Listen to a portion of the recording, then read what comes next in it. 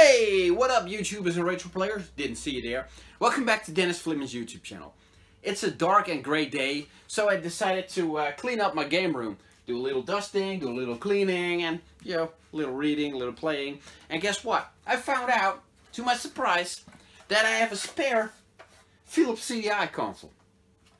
Alright, now, that's not the worst part. I also found and read I should be cleaning, but I also started reading a lot of these old video games magazines.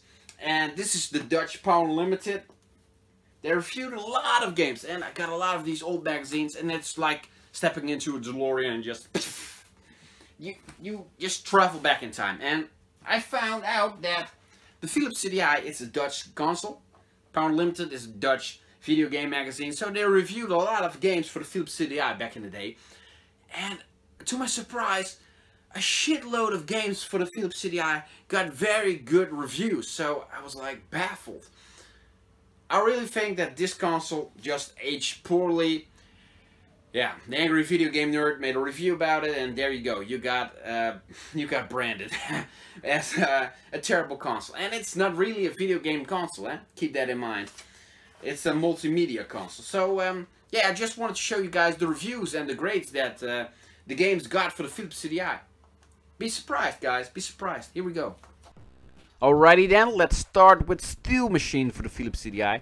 This game got reviewed and got an 8.8. Side note, fellow Dutch YouTuber Half Blind Gamer made an excellent review about that game. Here we have four other Philips CDI games reviewed. They all got a 7 plus except for Inca. Inca got a 9. Haven't played this game, but when I read the review, I want to play it. Backgammon, Battleship, and Defender of the Crown. Defender of the Crown sucks for the NES, but this version for the Philips CDI gets an 8.7. Here we have both of the Zelda games. They got ridiculed by the AVGN, but uh, this video magazine gives them both a 9. Wow. Next up are two mediocre sport games. Power Hitter, a baseball game, and Video Speedway. Yeah, that's a low grade. The, the sound seems to be terrible for this game and that explains the low grade for Video Speedway. Next up, Alice in Wonderland. Alice in Wonderland is an insane story. How insane would this version be for the Philips CDI? Pretty damn insane. Check out this graphics, man. 8.3. I I just need to hunt down a copy now. I, I want to play that. Next up, Kether or Kether, I don't know. 9.2. Seems to be a starring ripoff of some kind. Excellent game. Foyer, love that game, but the Philips CDI version seems to be lacking. It only gets a 7 plus. Zombie Dinos, on the other hand, seems to be an incredible, incredible game. It gets a 9, another pretty damn high grade for a Philips CDI game. Another high grade coming up, a 9.1 for Space Ace. Yeah, what can I say? It seems to be made for the Philips CDI back then. It was the only quote-unquote console that could handle those graphics. A 7 for the seventh guest. That seems to be some kind of a joke. and yeah, Dragon's Lair, same story as with Space Ace, seems to be made for the console. 8.1. Here we have uh, four games. Mad Dog McCree, Zelda. They all get, yeah, good grades. Next up, Burn Cycle. It gets a 9.4 and it, it, was on the cover of the magazine. It got blown into heaven. Only good critiques, 9.4. Insane grade. Something else that is also insane is a 7.2 for Mutant Rampage. That game is in my top 3 of the best games for the Philips CDI. I can live with the 7.3 for Lemmings for the CDI. It's an okay game, not really my genre. Earth Command gets also a 7 plus. Next up is Chaos Control. Never play it, but it also gets an high grade 8 plus. Next up, Lingo. Played that game, multiplayer, pretty damn fun. It deserves a higher grade grade than that 6.5. It's it's pretty damn fun. Asterix gets destroyed 4, one of the lowest grades uh, so far.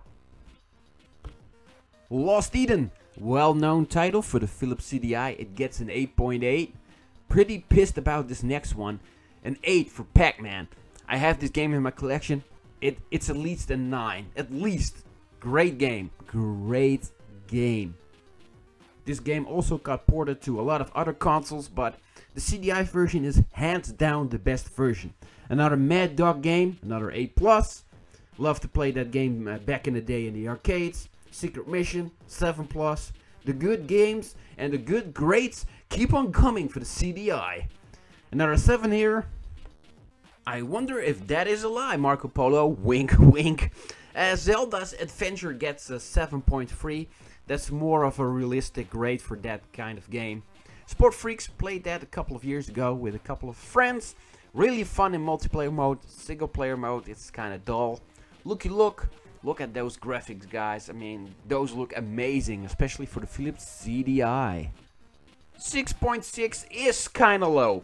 Next up is one of the very few platformers. It's Christmas Country for the Philips CDI. It's a great game. If you haven't played it, go out and play it. It's a fun little Christmas game. And the last game that ever got released for the Philips CDI and got reviewed is Shaodan. So, hey guys, I hope that this list gave you another look at the Philips CDI and its games. It wasn't that bad.